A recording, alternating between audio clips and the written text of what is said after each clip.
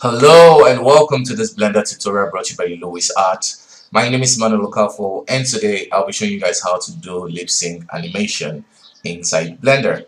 So this is quite fun and pretty straightforward.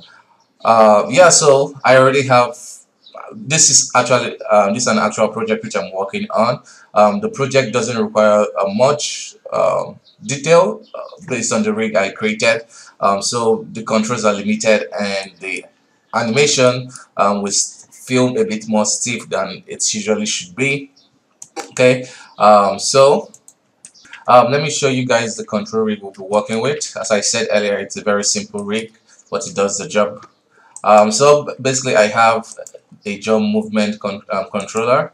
I also have an extra one to be able to scale up the mount and just create nice deform um, deformation around here. Also I have one to move uh, probably create like an eating motion or just create nice deformation with the face. So I knew from start um, from the get-go that the rig I need to create for this don't need to be really detailed because um, it's not going to re be really close the animation so and the project quality um, project budget is not so, so much so um, this is the appropriate rig for this kind of project. Um, so we have the jaw control and I also created another control bone that is driving um, several blend shapes. So since I knew I would not have much control for the face I also sculpted in some fa facial movements with the lips okay? So I can just get a bit more um, stuff for free. And we have just more controls for the eyes for the eyebrows okay? And then just simple smile sad and you can combine them to probably create confuse um, yeah so um, yeah so let me show you guys how you can create lip sync inside blender. So just do very little frame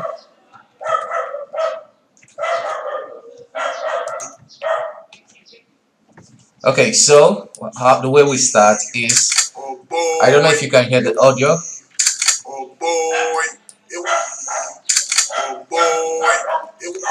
Okay, so I will just do the oh boy because the character is singing. So so we'll just do like oh boy and. Oh. Okay, so we'll end it here.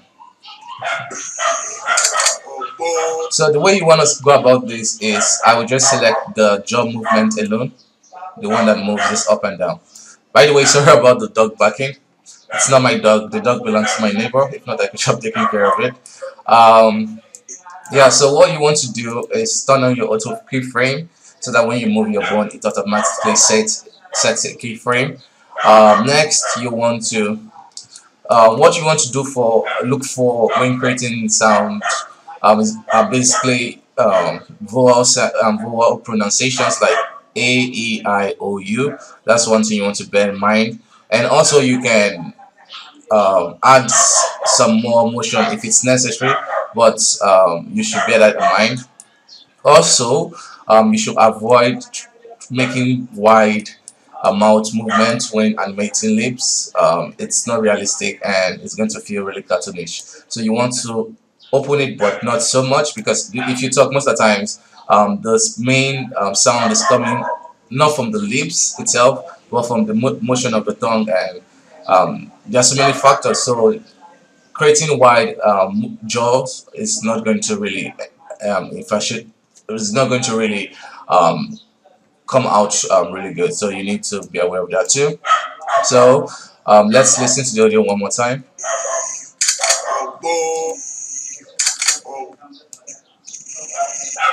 so yeah we have like an E sound.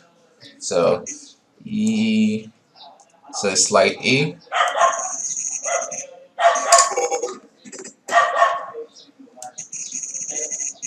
Okay so I will insert another keyframe there for the E. Then here I will close the jaw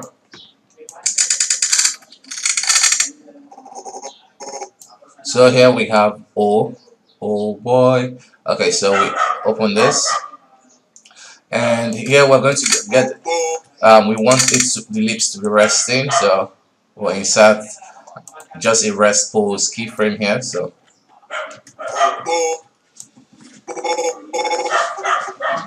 So the O is closing slightly and boy we increase it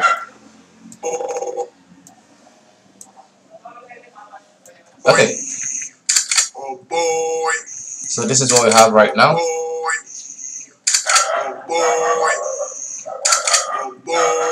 Okay so next what you want to do is select for instance if we had like a um, mouse controller like a more advanced rig we had stuff like this then now you want to select all these controllers okay? And also select this but for this case since we just have a very simple rig I will select this one that really controls all the vowel sounds the E or E the E O U and mouth coil in. So I will select that and shift select the jaw movement. And insert keyframe everywhere we have the jaw movement. Okay so once you do that um, you're good to go. So now we select the vowel controller and start playing with it. So so you want to sculpt in E okay? And then for this interpolation this space here um, you also want to control it with the vowel sounds because um, even when the jaw is not moving the lips especially the lower lip, part of the lips um, moves slightly and the side corner also moves um, so this space is where we're going to be um, adding some more um, definition to the word. Okay so so so we're carving it in, um, sculpting it in.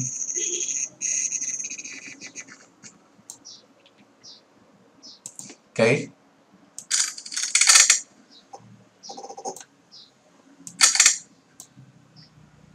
so here we'll just insert a keyframe to keep the rest pose. And start shaping to O.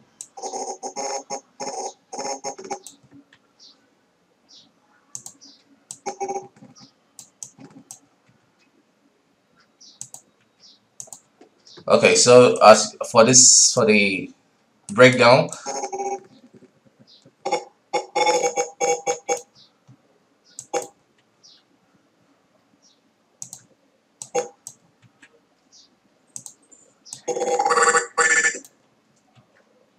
Okay, so let's see what we have.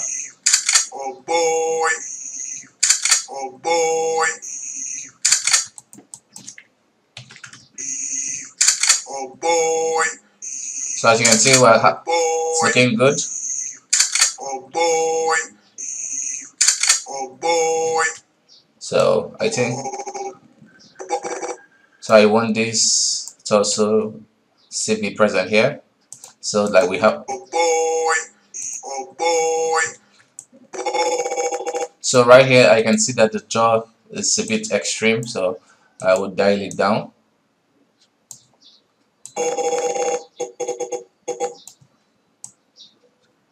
Okay.